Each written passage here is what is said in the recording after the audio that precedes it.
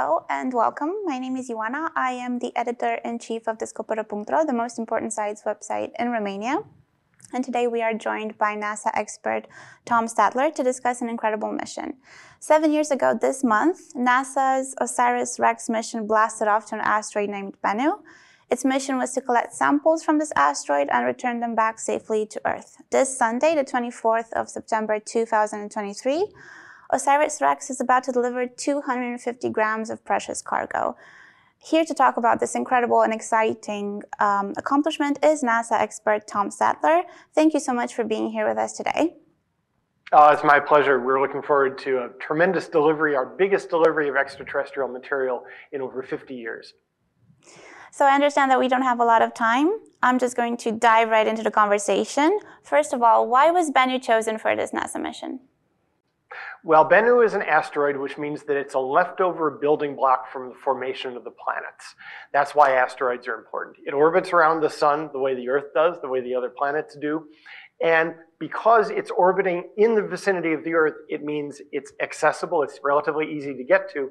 And also, it's a type of asteroid that probably has a lot of water that's locked up in the minerals chemically and a lot of carbon compounds. And we have good reason to think that a lot of, maybe all of the water on the surface of the Earth was actually delivered by asteroids carrying water chemically, crashing onto the Earth in its early history, vaporizing and adding that water to our planet. So what can these samples tell us that we don't already know about Bennu, but also about our own solar system? Well, we only know about Bennu from the remote sensing instruments on the spacecraft and what we can learn from, from telescopes on the ground. There is no substitute for actually getting that material into the laboratory and doing a detailed chemical analysis, measuring the, the chemical isotopes, the, the, the isotopes of the, the, uh, the, the, different uh, chemical uh, elements uh, in, that, in that asteroid and comparing it with what we have on the Earth, what we know from the samples from the moon, what we have from meteorites. It's that detailed chemical comparison that you can only get by having the stuff there in your hand. So OSIRIS-REx didn't just collect samples, it also studied Bennu in unprecedented detail. Can you tell me, was there anything about this asteroid that surprised the scientists at NASA? There were a lot of things that were very interesting. We get surprised by every asteroid that we go to because they're not all the same. Every asteroid is carrying a different part of the story of our solar system and how our planets developed. On Bennu, we found that in contrast to the smooth surface we were expecting, there were lots and lots of boulders.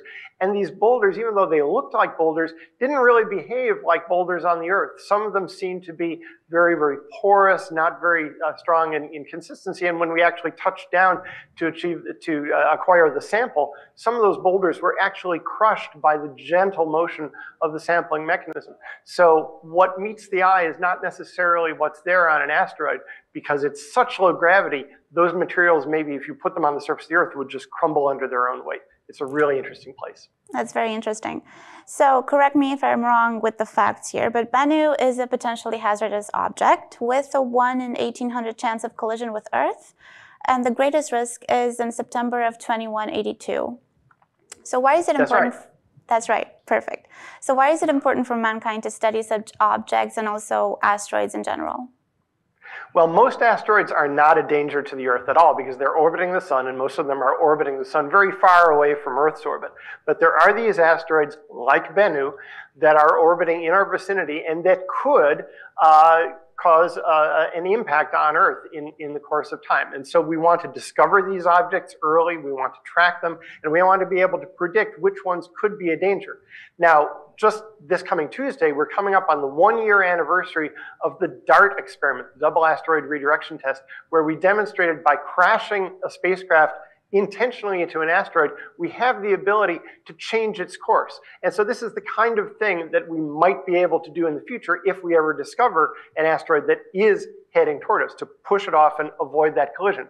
Bennu is not a danger to us right now, and we don't know of any asteroid that is a danger to us right now, but we want to be able to develop that opportunity. And having the OSIRIS-REx spacecraft there at that asteroid to study it in detail gives us a lot more important information in case we ever have to do anything about it. So NASA has stated that it will share some of its samples with other space agencies around the world for research purposes, of course, such as Japan Aerospace Exploration Agency. Um, so when can we expect the first results from these samples to be made public? Well, the very first examination of the sample is going to be happening as soon as the, uh, the samples get to the curation facility at Johnson Space Center uh, later this month. Uh, in the beginning of October, the team will have its first chance to examine and just get the very first sense of what's there. And so we expect to be able to say a few things about the sample uh, within a few weeks. But that detailed analysis of really what is what the chemical makeup is of those samples is going to take uh, months and years. And so everybody should just watch for, uh, for news uh, releases coming from the science team in the months ahead.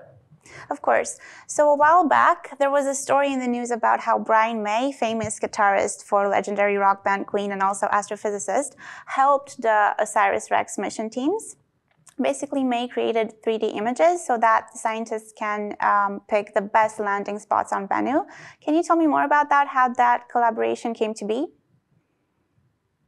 Um, I don't really know how that came to be, actually. Uh, uh, Brian May has been uh, an active participant in some of our missions, particularly OSIRIS-REx for a while. He's got an ability, he has, has, a degree in astrophysics, has a doctorate in astrophysics, and uh, his particular specialty is uh, turning uh, spacecraft images into stereoscopic vision to enable you to really understand uh, what was there. So I think his contribution was really uh, very, uh, a really great contribution to understanding the surface and being able to pick where the safest sites would be to do the touchdown and do the sample collection. Yes, and at that time, Brian May stated that a mission like this one is incredible, and if we can understand asteroids, then we can understand ourselves. Is that accurate? We're learning a lot about ourselves because what we really want to understand is how our Earth came to be the way it is and what had to happen on the Earth in order to make it into a place where life could develop.